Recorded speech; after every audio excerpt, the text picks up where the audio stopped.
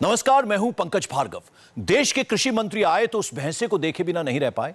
प्रधानमंत्री आए तो वो भी इस युवराज के पास गए। कार्यक्रम पीएम का था, लेकिन हर कोई नौ करोड़ के इस युवराज की चर्चा कर रहा था। एक ऐसा युवराज जिसकी डाइट से लेकर कदकाठी, आदतें हाव भाव अंदाज, सब कुछ बेहद खास है। नौ करोड़ के इस भैंसे को खरीदने के लिए हर कोई बेताब है। देखिए आखिर क्यों सबके सब इस युवराज के मुरीद हैं।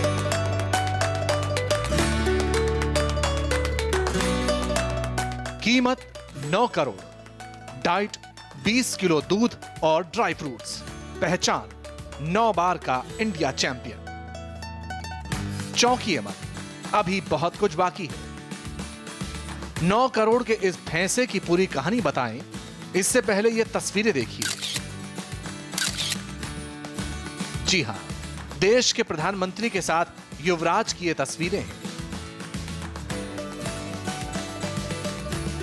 अब देश के कृषि मंत्री के साथ इस भैंसे की तस्वीरें देखिए। पूरी दुनिया में युवराज के फ़ैन हैं। चर्चा इतनी कि खुद प्रधानमंत्री नरेंद्र मोदी युवराज को देखे बिना नहीं रह पाए। दिल्ली में आयोजित कृषि उन्नति मेले का उद्घाटन करने आए मोदी ने इस भैंसे को बहुत ध्यान से देखा। युवराज की खासियत के बारे में सुना। सिर्फ़ पीएम ही नहीं कृषि मंत्री राधा मोहन सिंह ने तो युवराज के साथ फ़ोटो भी खिंचवाई।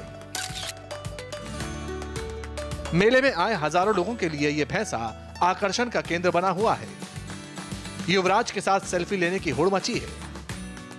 आप सोच रहे होंगे, आखिर ऐसा क्या खास है, जिसकी वजह से यह भैंसा दुनिया भर में नाम कमा रहा है? युवराज नाम के इस भैंसे की अब तक सबसे ज़्यादा 9 करोड़ रुपए की बोली लगी है। हर साल इस भैंसे के मालिक 80 लाख रुपए का सीमन बेचते हैं। युवराज के सीमन से अब तक डेढ़ लाख बच्चे पैदा हो चुके हैं। दुनिया भर के खरीदार इस भैंसे को खरीदने के लिए बेताब हैं। मुर्रा नस्ल के इस भैंसे के सीमन की देश भर में ज़बरदस्त डिमांड है। एडवांस बुकिंग रहती है।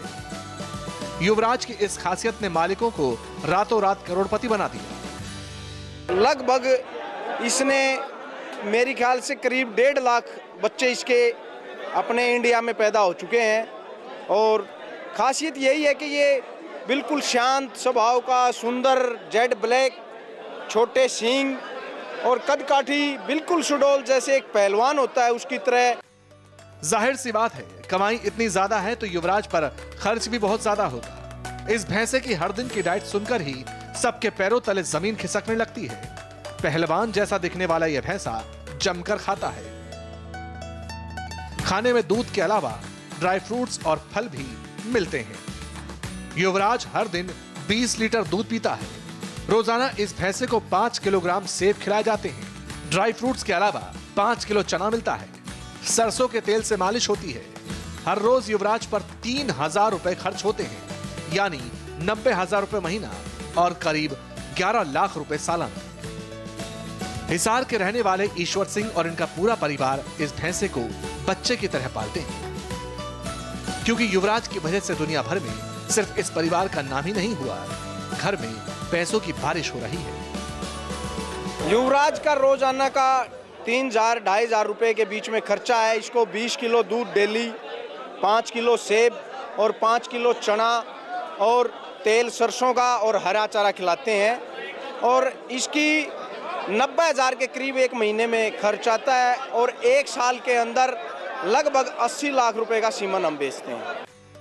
हरियाणा सरकार के अलावा केंद्र सरकार से भी इस भैंसे को बड़े बड़े खिताब मिले हैं। अब तक युवराज 20 लाख रुपए का नगद इनाम जीत चुका है। जिस मेले में भी जाता है, वहाँ से चैंपियन बनकर आता है। सबसे बड़ी बात यह है कि पूरी दुनिया में कहीं भी इतना लंबा चौड़ा भैंसा है ही नहीं। युवराज की लंबाई 17 फीट है, ऊंचाई पाँच फीट आठ इंच और चौड़ाई साढ़े चार फीट है।